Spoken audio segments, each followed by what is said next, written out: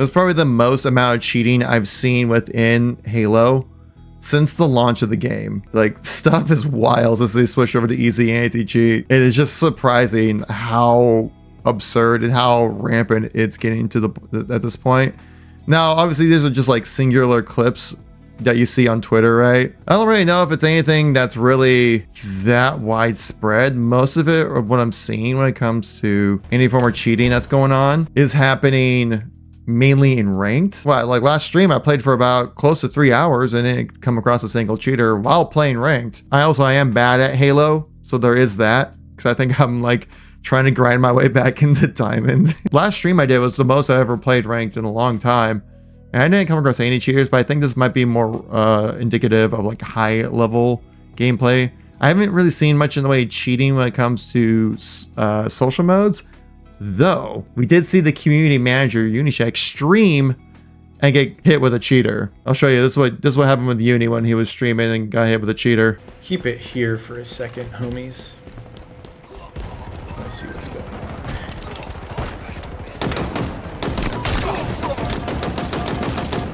For anyone wondering, just completely shit on the cheater, but we're not going to give him the attention, so. I just want to say I love the fact that he said I just shit on a cheater.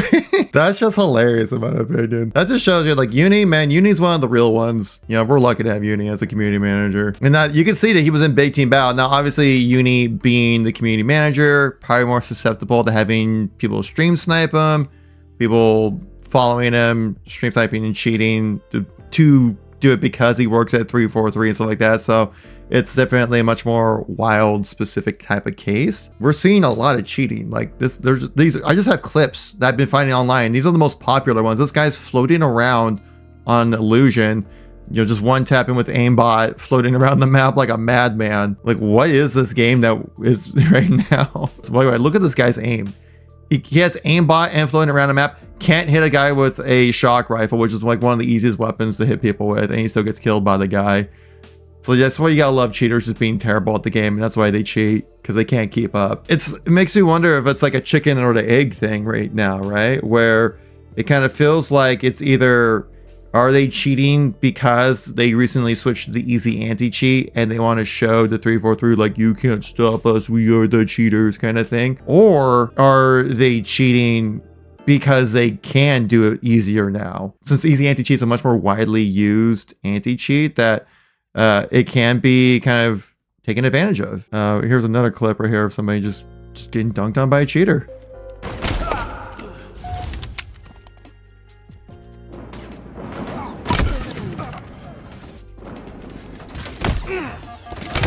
That is wild. so you get the point. People floating around around the map, one tapping people.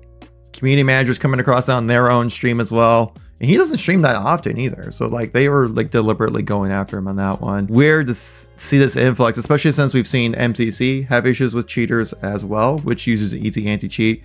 And then 343 switched over to easy anti-cheat, even though they know they know that MCC is having a cheating issue.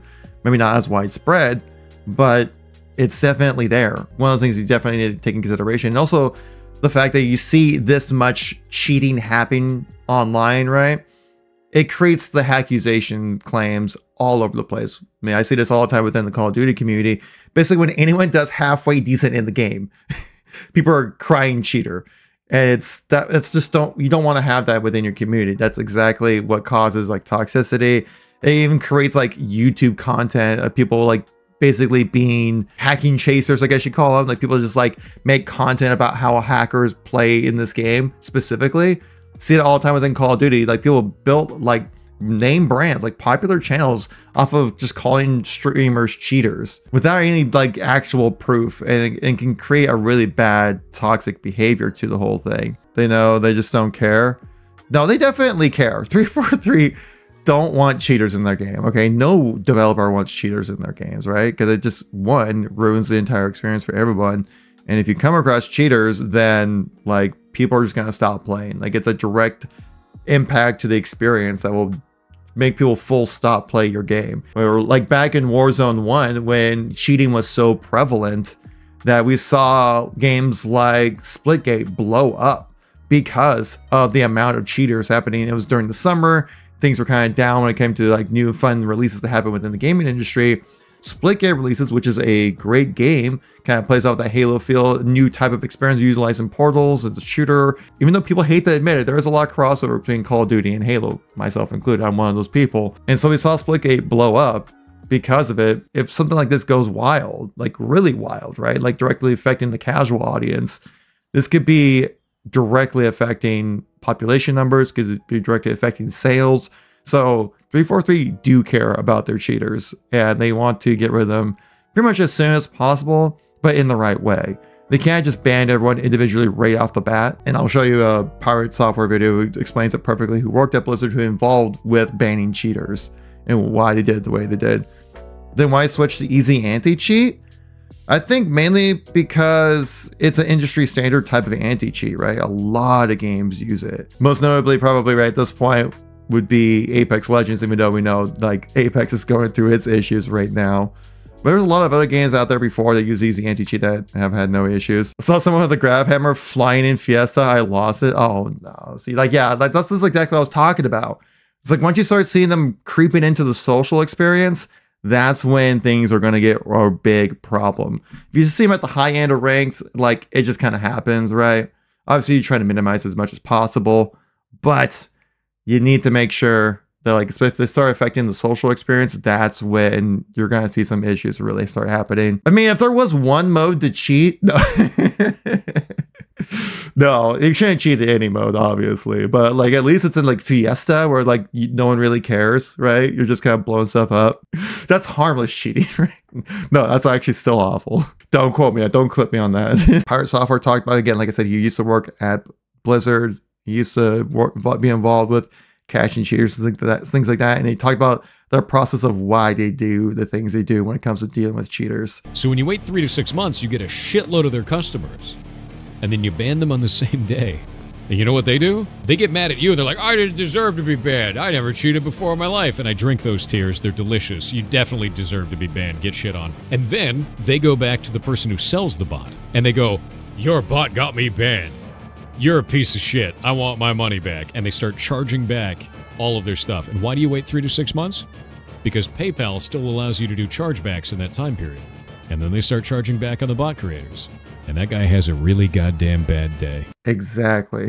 so a method to the madness, right? He also talks about another thing too about when you make a ban on people that you don't do it as soon as they get into the game which is what you would think you would do. But the thing is, it's a bit of a social test behind it as well. Where if you ban people as soon as they get into the game, right? As soon as they download a new cheat or something like that, and then you ban them right away, they go, oh, it's that cheat specifically that will get me banned or get me blocked or you know temporary banned or something like that.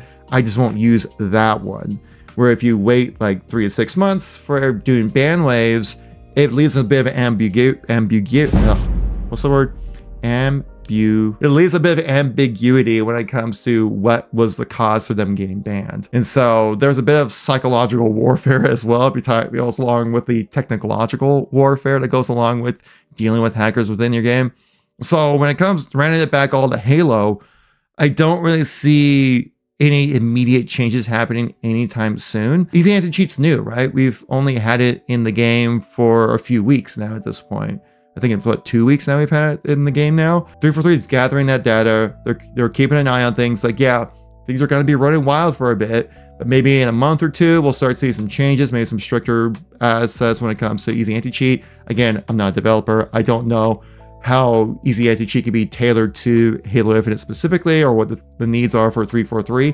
But I can assume there's something there, right? Yeah, they want to create some confusion for the hackers and exactly. Yeah, they talks about it again as well, where you're doing those ban waves where like they do chargebacks on the cheaters because I mean, obviously, if you're a cheater, you're, you don't care about other people, so you're gonna charge get char- you want to do a chargeback on paying for your cheats because you got banned, right? And so that person who provided the cheats has to give up all this money.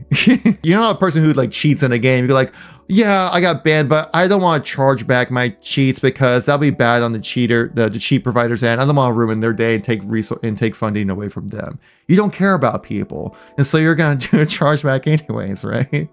I mean, I think Call of Duty does a similar thing where they'll just put cheaters into their own lobbies and then match against each other, and it'll just be some wild wacky stuff like Ricochet, it can, while being rather invasive when it comes to its anti-cheat, does a decent job, right? Like I haven't actually come across any cheaters in my experience playing Call of Duty uh, since I've played it on Steam. And I have like almost 600 hours into the Call of Duty franchise on Steam compared like with uh, Modern Warfare 2 and Modern Warfare 3. So I put a good amount of time in, haven't come across a single cheater. Again, I'm kind of like above average, if not average, when it comes to Call of Duty. I'm not a crazy movement kid like uh you know like Shotzzy generation of players nowadays. It's like again, cheating kind of comes more in that high end gameplay, which a lot of Twitch streamers are striving for that high end gameplay, which that's the people you come across cheaters, and those are the people who would clip something, have the ability to clip or bother to clip something, share it on Twitter, share it on Reddit, to then highlight it, so then it can be a look like a bigger problem than it actually might be, but still it definitely is a serious issue. Like Lucindy was talking about over here, she saw a cheater in Fiesta, like that's bad. That's really bad. That's more alarming to me than seeing cheaters in like 1800 level Onyx. Because 1800 level Onyx is like what 0.1% of the population of people who play the game. If you see it in social, that's where it's gonna become a real issue. They do the splat where people just die from falling. Yeah, I've seen the clips too of people who get the splat and they're like, what happened? The game's broken. How did this happen? It's like, no, you're cheating. You're being a jerk. I'm sure they had some expectations of an increase of cheaters because it's also a bit of a psychological warfare, right? With cheaters, where like